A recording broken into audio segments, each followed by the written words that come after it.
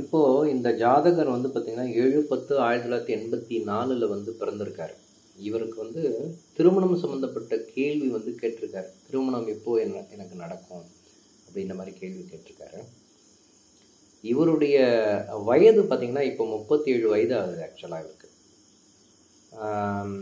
இவருடைய ஜென்ம லக்னம் என்ன அப்படின்னு பார்த்தீங்கன்னா ஜென்ம லக்னம் வந்து பார்த்தீங்கன்னா உங்களுக்கு சிம்ம லக்னம் சிம்ம லக்னம் வந்து எதில் உதிச்சிருக்குன்னு பார்த்தீங்கன்னா பூர நட்சத்திரம் நான்காம் பாதத்தில் உதிச்சிருக்கு.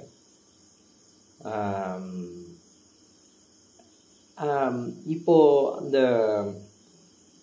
இது வந்து வயதினுடைய லக்னம் சொல்லுவாங்க. அக்ஷய லக்ன பദ്ധதி சொல்கிறது வந்து வயதினுடைய லக்னம். இப்போ என்ன லக்னம் போயிட்டுருக்கு? இப்போது உங்களுக்கு வந்து நீங்கள் பிறக்கும்போது என்ன லக்னம் இருந்ததோ அதை வைத்து நீங்கள் பலன்கள் பார்க்கும்போது உங்களுக்கு நிறைய விஷயங்கள் வந்து பிடிபடாது ஆக்சுவலாக நிறைய விஷயங்கள் உங்களால் பார்க்க முடியாது.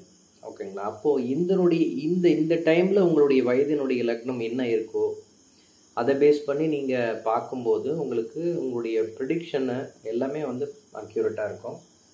அதுதான் அக்ஷய லக்னம். ஓகேங்களா? வளரும் லக்னம் அப்படின்னு சொல்லுவாங்க. வயதினுடைய லக்னம்னு சொல்லுவாங்க. அப்போது இப்போ ஏல்பின் லக்னம் என்ன போயிட்டுருக்கு அப்படின்னு பார்த்தீங்கன்னா உங்கள் இப்போ வந்து ஏஎல்பி லக்னம் வந்து பார்த்தீங்கன்னா உங்களுக்கு தனுர் லக்னம் போயிட்டுருக்கு. ஓகேங்களா? தனுர் லக்னம் போயிட்டுருக்கு. இப்போது சூரியனும் புதனும் வந்து பார்த்தீங்கன்னா உங்களுக்கு கண்ணியில் இருக்காங்க. சுக்ரன் சனி துலாத்தில் இருக்காங்க. கேது வந்து பார்த்தீங்கன்னா உங்களுக்கு விருச்சகத்தில் இருக்காரு. குரு செவ்வாய் வந்து தனுசு ராசியில் இருக்காங்க. சந்திரன் வந்து கும்பத்தில் இருக்காரு. ராகு வந்து பார்த்திங்கன்னா உங்களுக்கு ரிஷபத்தில் இருக்கார். இதுதான் ஜாதகத்தினுடைய அமைப்பு. சரி இப்போ ஏல்பி லக்னம் வந்து இப்போது உங்களுக்கு ஏல்பி லக்னம் முடிஞ்ச உடனே பார்த்தீங்கன்னா மூலா நட்சத்திரம் மூலா நட்சத்திரம் முடிஞ்சு ஏல்பி லக்னம். ஏன் அந்த டைமில் வந்து திருமணம் ஆகலை அப்படின்னு பார்த்தீங்கன்னா மூலா நட்சத்திரம். மூலா நட்சத்திர அதிபதி யார் அப்படின்னு பார்த்தீங்கன்னா கேது. ஏல்பி லக்னத்துக்கு பன்னெண்டாம் இடத்துல இருக்கார். அதனால் திருமணம் சம்மந்தப்பட்ட விஷயங்கள் இப்போ நடக்கலை அப்படின்னு நம்ம சொல்லலாம். ஓகேங்களா? சரி அந்த நாலு வருஷங்கள் வந்து திருமணம் வந்து தடை சம்மந்தப்பட்ட விஷயங்கள் வந்திருக்கு. அதனால் திருமணம் நடக்கலை அப்படின்னு சொல்லலாம். பூர நட்சத்திரம்னு வரும்போது பூர நட்சத்திரம் ஒன்றாம் பூராட நட்சத்திரம் ஒன்றாம் பாதம் ஏஎல்பி லக்னம் வரும்போது அது வந்து ஏஎல்பி லக்னத்துக்கு ஒன்பதாம் இடத்துல வந்து உங்களுக்கு வரும். ஓகேங்களா ஏஎல்பி லக்னத்துக்கு ஒன்பதாம் இடமாக வரும்.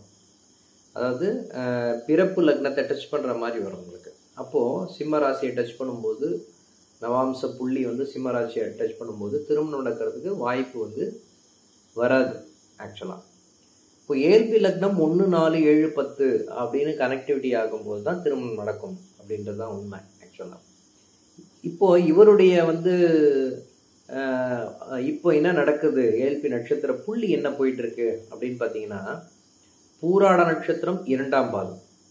ஓகேங்களா? பூராட நட்சத்திரம் இரண்டாம் பாதன்றது ஏல்பி லக்னத்துக்கு பத்தாம் பாவத்தை குறிக்காட்டுகிறது அதாவது ஏல்பி லக்னத்துக்கு பத்தாம் பாவம் நவாம்ச நட்சத்திர புள்ளி அதாவது டி நைன் நவாம்ச நட்சத்திர புள்ளி புராண நட்சத்திரம் இரண்டாம் பாதம்னா அது வந்து உங்களுக்கு கன்னியை வந்து காமிக்கும் ஆக்சுவலாக இது எப்போ வந்திருக்கு அப்படின்னு பார்த்தீங்கன்னா உங்களுக்கு அக்டோபர் இருபத்தி ஒன்றுலேருந்து உங்களுக்கு நவம்பர் இருபத்தி ரெண்டு வரைக்குமே இது வந்திருக்கு ஆக்சுவலாக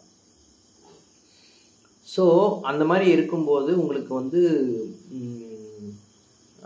இப்போ வந்து ஏற்பி நட்சத்திர புள்ளி பூராட நட்சத்திரம் இரண்டாம் பாதம். இப்போ திருமண காலகட்டமா அப்படின்னா ஒன்று நாலு ஏழு பத்து திருமண காலகட்டம் தான் அப்படின்னு நம்ம சொல்லலாம். ஓகேங்களா? அப்போது உங்களுக்கு நீங்கள் வந்து இந்த டைமில் நீங்கள் முயற்சி பண்ணீங்க அப்படின்னா உங்களுடைய திருமணம் வந்து நடக்கிறதுக்கு வாய்ப்புகள் இருக்குது முப்பத்தேழு வயசு நீங்கள் வந்து இது சம்பந்தமாக வந்து நீங்கள் அருகில் இருக்கக்கூடிய ஏல்பி லக்னம் யார் பார்த்துட்ருக்காங்களோ ஏல்பி லக்னம் யார் பார்த்துட்ருக்காங்களோ ஏல்பி யார் பார்த்துட்ருக்காங்களோ அந்த ஜோதிட அன்னைக்கு நீங்கள் இப்போ பார்த்தீங்க அப்படின்னா இப்போ திருமண காலகட்டம் அப்படின்றது தான் உண்மை. இமீடியட்டாக வந்து நீங்கள் எவ்வளோ முயற்சி பண்ணீங்கனாலும் சரி நவம்பர் இருபத்தி ரெண்டுக்கு மே குள்ளேயே வந்து திருமணம் பண்ணுறதுக்கு வாய்ப்பு இருக்குது அப்படி அது மிஸ் ஆச்சுன்னா கூட உங்களுக்கு திருமணம் இருக்குது அப்படின்றது தான் உண்மை. வயது முப்பத்தி ஏழு ஆனதுனாலையும் சரி ஏஎல்பி லக்னத்துக்கு பதினோராம் பாவத்தில் வந்து நட்சத்திர புள்ளி பூராட நட்சத்திர அதிபதி சுக்கரன் வந்து பதினோராம் பாட பாவத்தில் இருக்கிறதும் ரெண்டாம் இடத்துக்குரிய ஏஎல்பிக்கு ரெண்டாம் இடத்துக்குரிய அதிபதி யார் அப்படின்னு பார்த்தீங்கன்னா சனி. அவர் வந்து உங்களுக்கு ஏல்பி லக்னத்துக்கு பதினோராம் இடத்துல இருக்கிறது அப்படின்றது வந்து உங்களுக்கு இரண்டாவது திருமணம் அதாவது ஒரு விதவி பெண்கள் அந்த மாதிரி விஷயங்கள் கூட முயற்சி பண்ணிங்கன்னா கூட உங்களுக்கு அந்த திருமணம் நடக்கிறது ஒரு பரிகாரமாக அமையும் அப்படின்றது தான் உண்மை. நீங்கள் அந்த மாதிரி முயற்சி பண்ணி திருமணம் பண்ணிக்கலாம் தாராளமாக அந்த மாதிரி பிளான் பண்ணுங்கள் பிளான் பண்ணிங்கன்னா உங்களுடைய முயற்சியே வந்து கம்மியாக இருக்குது ஆக்சுவலாக ஏல்பி லக்னத்துக்கு பாருங்கள் எட்டாம் இடத்துக்குறவன் மூணாம் இடத்துல இருக்கிறது. முயற்சி வந்து கம்மியாக இருக்கிறதுன்றது காமிக்குது ஆக்சுவலாக அதாவது முயற்சிகள் வந்து சில டைமில் முயற்சி பண்ணுவீங்க சில டைமில் முயற்சி பண்ண மாட்டீங்க. உங்களுக்கே வந்து ஆஃப் மைண்டடாக இருக்கும். அந்த முயற்சிகள் வந்து தடை இருக்கும். ஓகேங்களா அதனால் நீங்கள் வந்து யாராவது கன்னி பெண்கள் சரி சுமங்கலிகள் மெயினாக சுமங்கலிகளுக்கு வந்து வெள்ளிக்கிழமை வெள்ளிக்கிழமை வந்து வெத்தலை வெத்தலைப்பாக்கு கொடுத்துட்டு வந்தீங்க அப்படின்னா உங்களுக்கு திருமணம் நடக்கிறதுக்கு உண்டான எல்லா பாசிபிலிட்டிஸும் இருக்குது உங்கள் வீட்டில் சொல்லி நீங்கள் அதை அரேஞ்ச் பண்ணுங்கள் உங்களுக்கு கூடிய சீக்கிரம் திருமணம் நட நடப்பதற்கு ஆண்டவனை வேண்டி விடைபெறுகிறேன். நன்றி வணக்கம்.